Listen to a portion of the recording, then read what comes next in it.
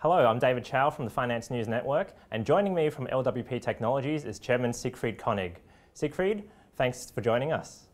Thank you. First up, can you give us an introduction to LWP Technologies? LWP Technologies is a small cap company listed on the Australian Stock Exchange under the ticker LWP, and our company is in a strong financial position with around 2,100 shareholders, and we have a fantastic proppant for the oil and gas services industry that we've developed from scratch and proved up the technology in our pilot plant in Brisbane. Thanks, Siegfried. Now, can you tell us more about your company's projects?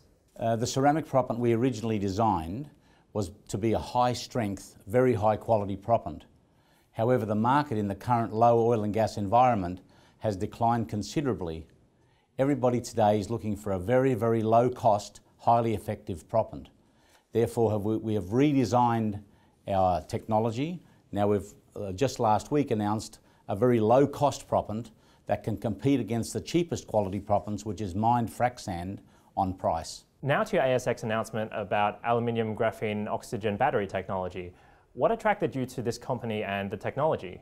The technology was introduced to me by a person that I've known for over 10 years and whose advice I trusted.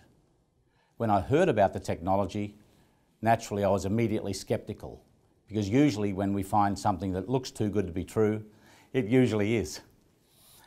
Therefore, we put a uh, due diligence expert on the case. We requested uh, second opinions from patent attorneys on the patents, and we had long, in depth conversations with the inventor. The more we found out, the more we investigated, the more we believe the technology really has legs. Uh, the potential of the technology is absolutely limitless and could change the way the world commutes.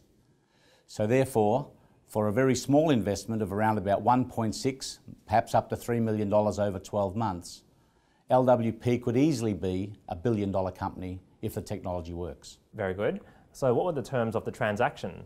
The terms of the transaction are that the inventors and LWP are 50-50 joint ventures partners in a new company called Graphene Era, because we believe the era of graphene is just beginning.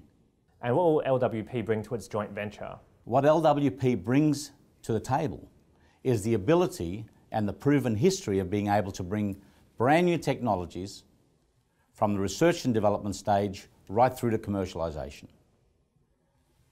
The other thing we bring to the table is marketing, commercialisation and future corporate transactions, whether they be IPO, spin-outs or otherwise, are all directed by LWP according to the terms of the agreement. Now to financials.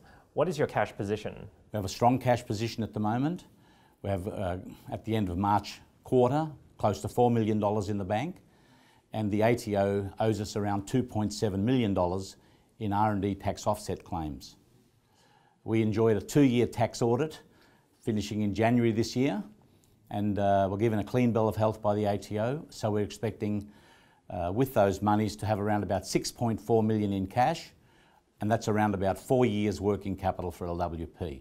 And what are your expectations for the company over the next six to 12 months? With the new proppant technology that we've invented and announced last week, we believe that will culminate in our first license agreement somewhere between three and six months from now. In relation to the Graphene Era technology, we believe that somewhere between six and 12 months we'll have a, a working prototype that we can give to potential licensees to validate. Last question, Siegfried. Where would you like to see LWP Technologies this time next year? I'd like to see us around about a 20 or 25 cent share price and uh, enjoying the fruits of our hard labour. Siegfried Konig, thanks for the update. Thank you very much.